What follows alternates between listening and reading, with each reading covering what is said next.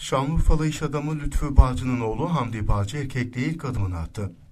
Bağcı ailesinin bu mutlu gününde kirveliğini ise Şanlıurfalı iş adamı Tayyar Bucak yaptı. Bu mutlu günümüzde bizleri yalnız bırakmayan Sayın Haliliye Belediye Başkanı Fevzi Demirkol, AK Parti Haliliye İlçe Başkanı Mehmet Can Polat, eş ve dostlarımıza teşekkür ederiz diyen baba, Tayyar Bucak abimize de bizi kırmayarak kirveliğimizi kabul ettiği için teşekkür ederim dedi. Acaba.